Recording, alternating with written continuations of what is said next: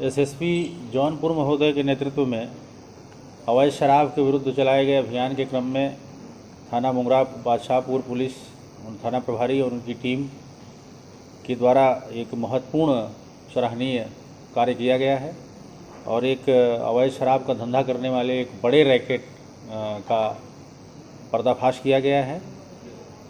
इसमें, इस क्रम में एक जो शातिर अपराधी है उसकी भी गिरफ्तारी हो की गई है जिसका नाम राजेश कुमार पटेल उर्फ़ कलेक्टर है। ये निवासी पूरा दयाल थाना मुंगरा का रहने वाला है और इसके कब्जे से 536 अ, लीटर अवैध स्प्रिट बरामद हुई है।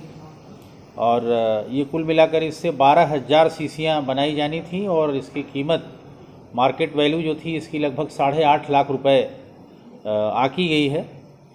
और इनके कब्जे से ड्रम गैलन और एक हज़ार रैपर, डेढ़ सौ बारकोड, एक स्कॉर्पियो, दो सुपर स्प्लेंडर मोटरसाइकिल, ये रिकवर हुई है।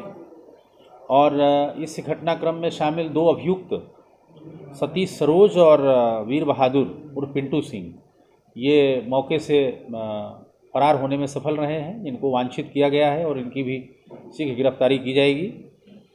जो अभियुक्त वीर बहादुर पिंटू सिंह है, ये थाना बरसठी का रहने वाला है और इसके विरुद्ध सोलह मुकदमे दर्ज हैं। एक सत्रहवा मुकदमा अभी और पंजीकृत हुआ है। एक लंबा आपराधिक इतिहास है, ये एक पेशेवर अपराधी है।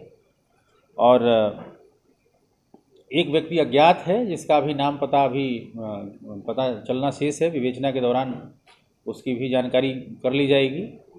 इस प्रकार से ये एक बड़ा रैकेट गिरोह जो अवैध शराब बनाने का काम करता था और इसको सप्लाई करता था, इसको पकड़ने में पुलिस को सफलता प्राप्त हुई है और भारी मात्रा में अवैध स्प्रिट और अवैध शराब बनाने के तमाम जो रैपर और बारकोड और इत्यादि और अवैध वाहन ये सब बरामद हुए हैं।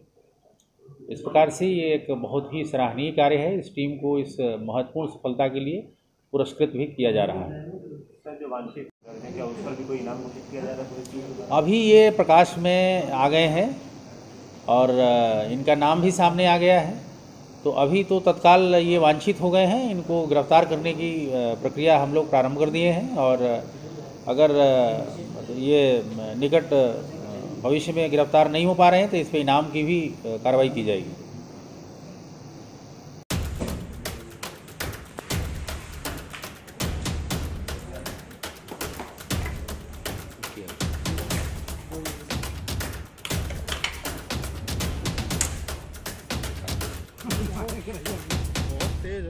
अरे क्या भाई